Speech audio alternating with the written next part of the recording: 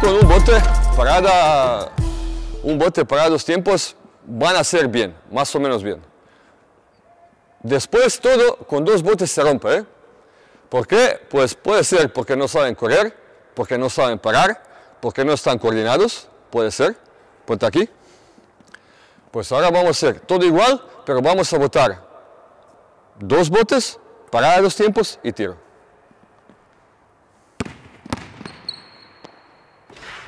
Bien.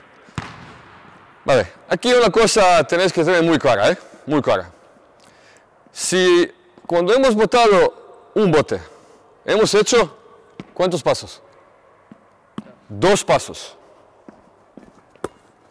Uno, dos. Muy bien.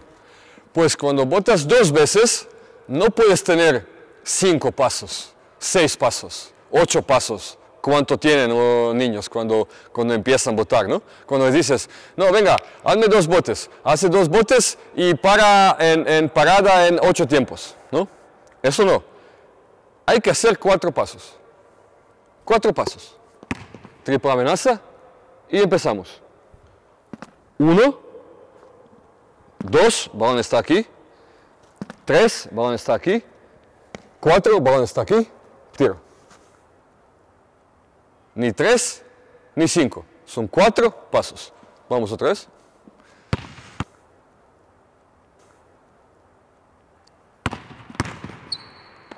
Bien.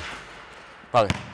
Ahora volvemos a esto que hemos dicho que vamos a explicar por qué es importante parar con pie, pie de la mano, ¿no? Pues muy, muy, muy fácil, ¿eh? muy, muy fácil. Primero, equilibrio. Primero es equilibrio y después es protección del balón. Imaginaros, si yo boto, ven aquí, ponte aquí. Si yo boto con la derecha, uh, el jugador está por el lado izquierdo. ¿Eh? ¿Está eh, bien? Va, bien. Entonces, si yo paro, si yo paro botando así y parando derecha, derecha, ¿no? Derecha, izquierda, balón está abierto aquí y él va a entrar aquí y me va a quitar el balón. De 10 situaciones, de 10 situaciones, 8 me va a quitar el balón y 2 va a hacer falta porque va a entrar en mi famoso cilindro. Muy bien. En esa situación, yo estoy bastante protegido. Y con pierna y con, y con la mano, que hemos dicho que hay que proteger el balón siempre. Si él quiere entrar aquí, de 10, 8 van a hacer falta, 2 me van a quitar balón.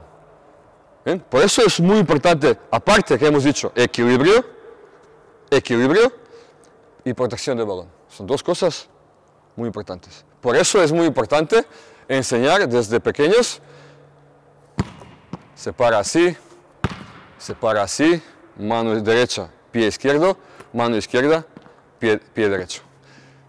Igual, ¿eh? Misma fórmula es para parada en un tiempo. Es, es, es, igual. Tú preparas tu parada, botas con la derecha, preparas parada con la izquierda, paras y tiras. Es absolutamente igual. ¿Bien? Muy bien. Con un bote van a trabajar muy bien. Con dos botes les va a costar, pero van a aprender. Pero todo esto, y vas a ver muy bien, ¿eh? todo esto se rompe, no sé por qué, se rompe con tres botes. En este caso, en este caso que este jugador lleva bastante tiempo conmigo, no va a ser eh, error, espero. Pero en caso de otros jugadores que, que tengo, sí que les cuesta botar tres botes, hacer parar dos tiempos y tirar.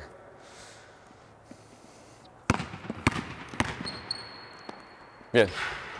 Venga, más. Eh, repito, ¿eh?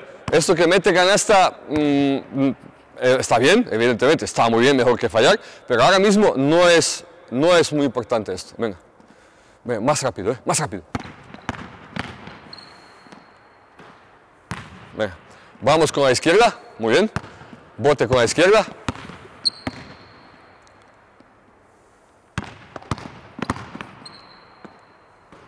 Muy bien. Venga, otra vez.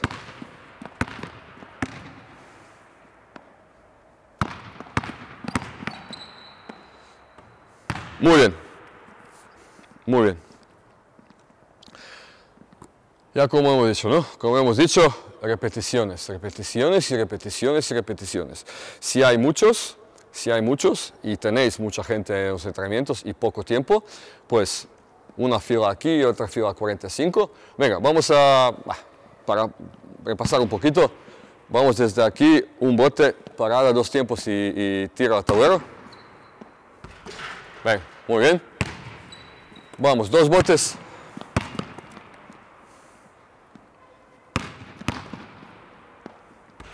Muy bien. Y vamos más allá. Tres. Muy bien. No hace falta otro lado. Otro lado es igual, ¿no? Pero lado, por, lado, por lado izquierdo con mano, con mano izquierda. Vale. Muy bien.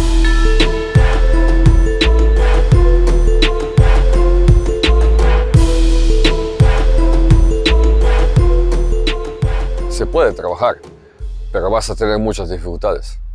Entonces eh, hay que ir poco a poco, ir aprendiendo poco a poco para poder hacer, eh, hablamos, de, hablamos de tres bloques de trabajo, eh, hablamos de, de, bote, parada y tiro.